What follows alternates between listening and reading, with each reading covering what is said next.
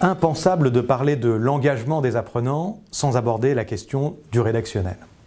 Je vous propose donc de partager sept règles simples qui renforceront l'impact de votre communication pour optimiser l'engagement de vos apprenants. Sept règles donc. 7. Du coup, je vous propose de jouer à un jeu que vous connaissez tous, le jeu des 7 erreurs. Prêt? Allez, c'est parti. Premier point, les titres. Combien de formations s'appellent les fondamentaux de la communication ou euh, les basiques de la vente ou encore euh, finance pour non financiers Alors, c'est vrai qu'on évite tout malentendu, on voit bien de quoi on parle, c'est précis, mais ce n'est pas valorisant. Un titre, c'est une promesse. Par exemple, convaincre ça s'apprend ou encore maîtriser le budget de votre unité. Même chose pour les activités.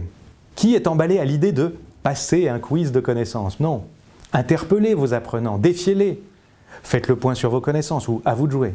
Le second point concerne les objectifs. Un objectif aussi, c'est une promesse. Ça décrit ce que l'apprenant sera capable de faire mieux, plus ou plus vite au terme de la formation. Altus, situs, fortus, ça c'est inspirant. Alors soyez olympique dans l'expression de vos objectifs. Le troisième point, c'est le style. Évitez d'alterner le tutoiement, le vouvoiement, le nous associatif. Au bout d'un moment, on ne sait plus qui parle à qui. Vous choisissez un mode de communication et vous vous y tenez. Même chose pour le niveau de langage. Soyez cohérent tout au long du parcours, ce qui n'exclut pas les variations. Vous pouvez jouer avec les nuances et les contrastes, mais sur une palette définie. Quatrième point, le vocabulaire. C'est vrai qu'il est tentant pour un expert de partager son savoir, sans toujours s'assurer qu'il est accessible au public euh, de la formation. C'est d'ailleurs ce qui différencie l'expert du pédagogue. Le pédagogue, lui, veille avant tout à être compris. Assurez-vous donc que le vocabulaire que vous utilisez est adapté à votre cible. Lorsque vous introduisez de nouveaux termes, définissez-les clairement. Le cinquième point concerne les étapes de la formation. Il faut se rappeler qu'on a commencé à utiliser le digital pour renforcer la formation présentielle. On parlait à l'époque de modules positionnés avant et après la formation pour sensibiliser, adresser les prérequis ou creuser un sujet. En faisant ça, on laisse penser à l'apprenant que ce qui se passe avant et après la formation, ce n'est pas vraiment de la formation. Alors de grâce, décrivez les étapes en cohérence avec le cycle d'apprentissage. Apprendre, s'entraîner, puis mettre en application en situation professionnelle. C'est ce que décrit le modèle ELPA.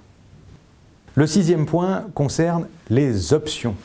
Alors, le terme même d'option aurait tendance à laisser croire à nos apprenants que nous avons intégré euh, dans son parcours des choses qui ne sont pas indispensables, voire peu utiles.